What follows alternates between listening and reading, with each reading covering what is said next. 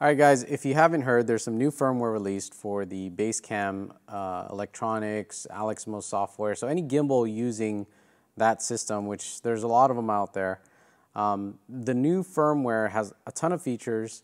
Most of it I'm not even too sure about just yet. I'm still learning it.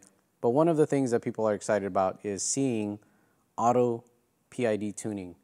Um, so if you don't know how to tune PIDs, maybe it's a good start maybe not. I'll show you what the process is and you guys can decide.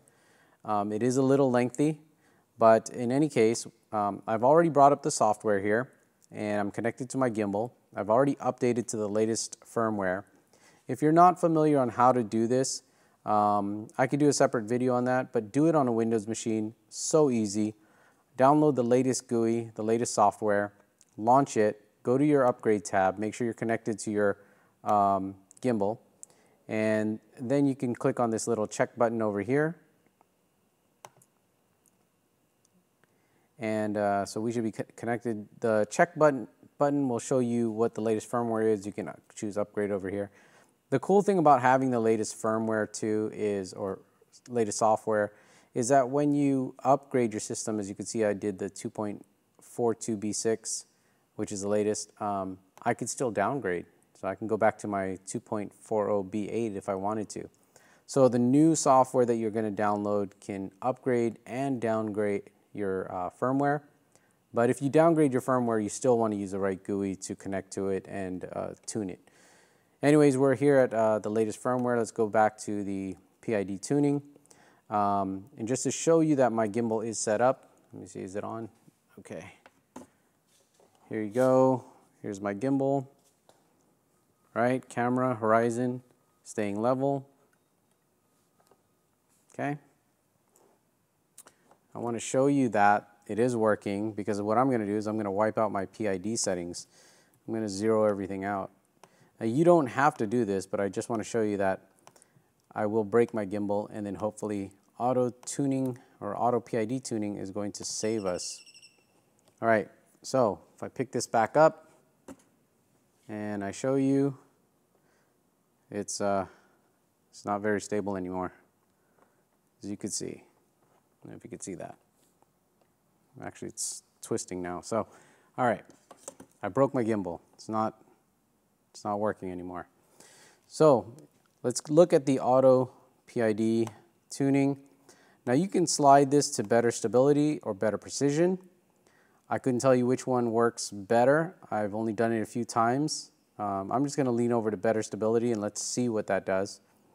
Uh, we're also going to start from zero. Now you could run through all of the axes at the same time, but personally, I've done this a few times. I think it is better if you do it one at a time.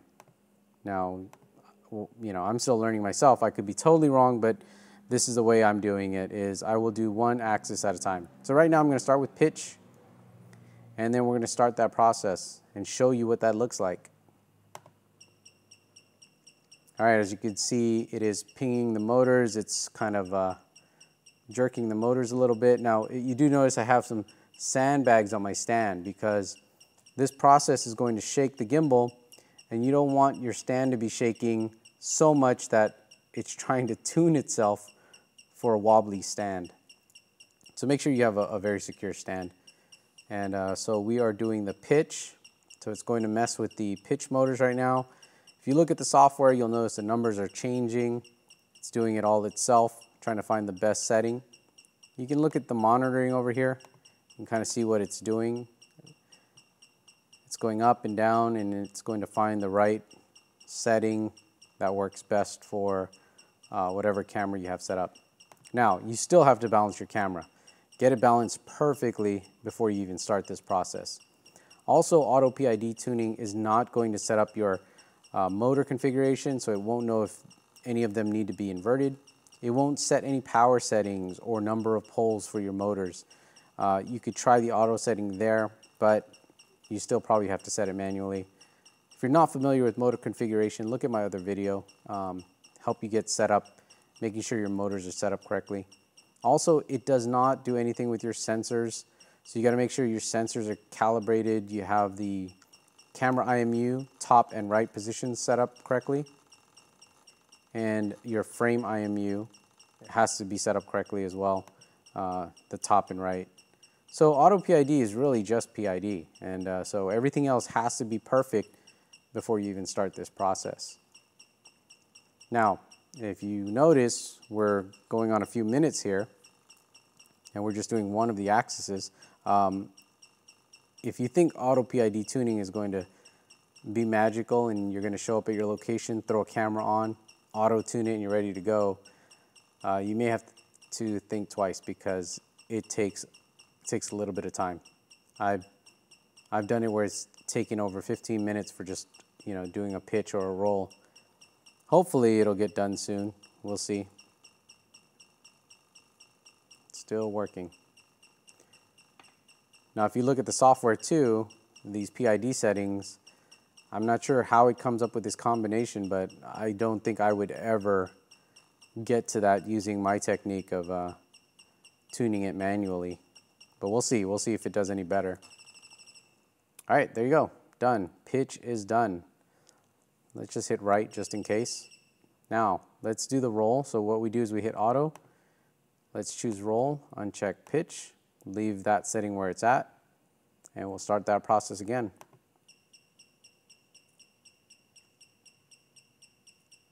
So as you look carefully, you'll notice it's doing the roll. What it's doing is it's shaking it, and then it's trying to figure out um, how to stabilize that. And it's just tweaking all the PID settings one at a time.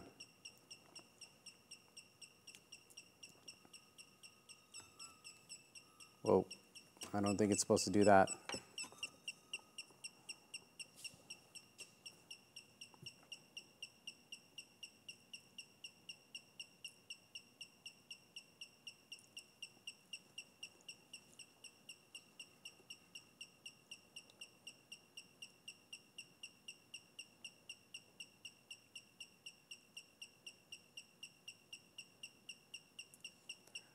All right, let's time this guy. For some reason, the roll seems to take a little while.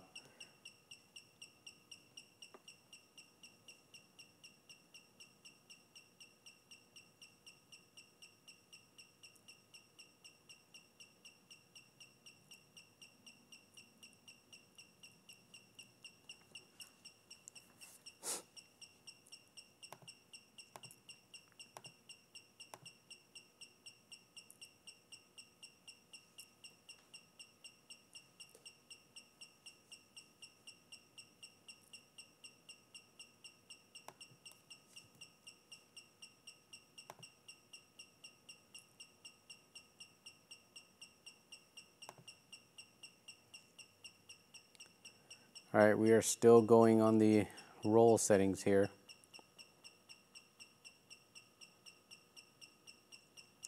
So now that it's starting to populate the eye, I think it's getting close.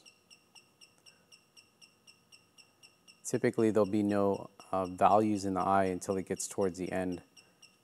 So if we're seeing something there, I think we're getting close.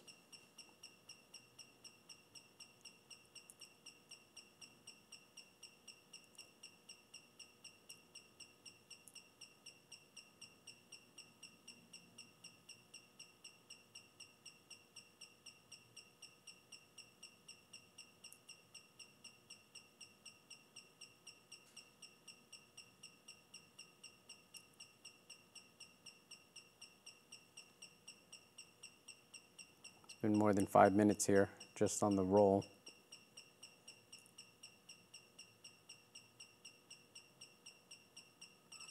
Oh. Well, that's where it claims to be.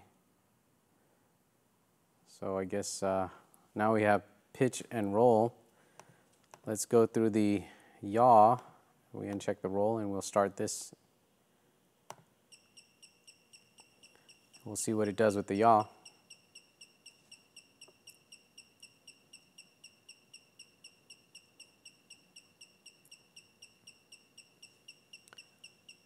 And let's time this yaw.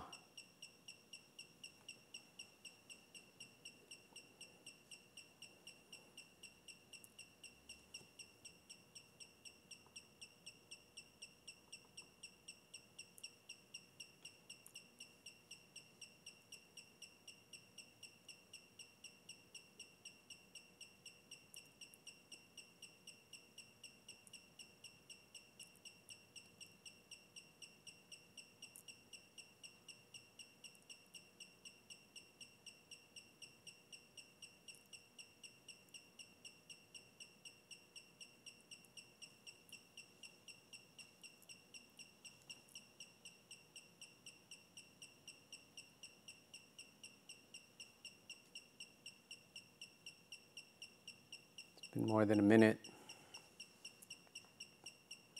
So as soon as the yaw is done, um, we're just going to test it. We're going to see if uh, the camera can keep its horizon stable.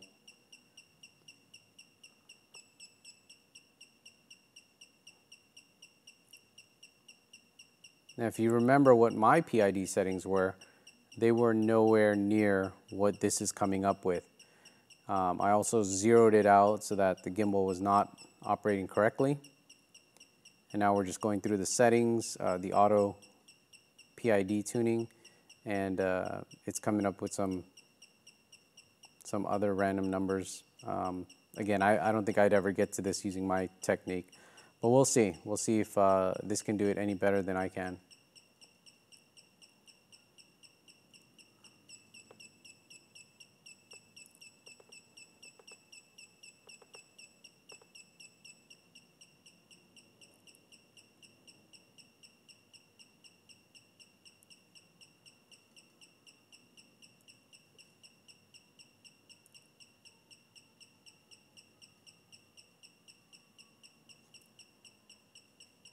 We're way over two minutes already on this uh, yaw.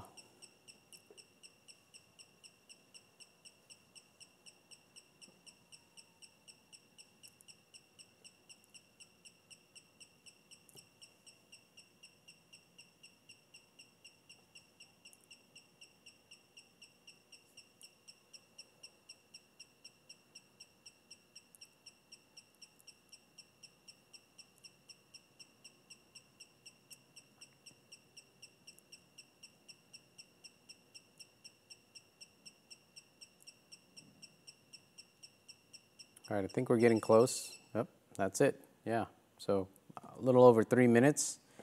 We have our PID set up all um, using the auto tune feature. All right, so let's pick it up and uh, let's test this guy out. Let's see if it can keep the horizon level. Now again, actually let me disconnect the USB.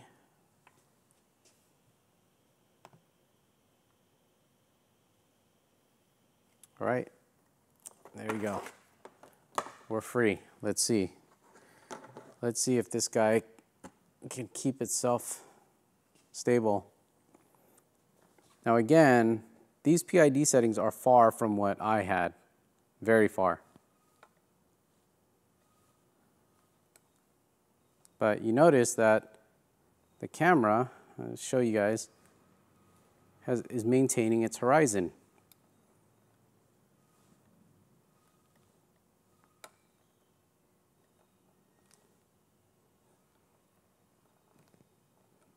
So it's not flipping around, it's actually working out pretty well. Now these are numbers I would not normally come up with. I'm not sure uh, if the performance is going to be exactly what I want when I'm running hardcore or anything, but um, I guess that's the setting in uh, the auto tuning where you want either better stability or better precision. You just have to play with those variables to see which one works best for you, but does auto tuning work? I guess it does. It, uh, it set everything up. The camera is able to stay uh, level to the horizon. It's not freaking out when I'm shifting the handles around in different angles. So auto tuning could be a good start. Uh, the new firmware seems to look good right now. But you did notice that it took several, several minutes to get all three of these uh, axes tuned up um, through the software. So it's not something that's going to be very quick for you guys. Uh, but hopefully that example of the process uh, helps you out. If you have any other questions, let me know at the blog, cheesycam.com.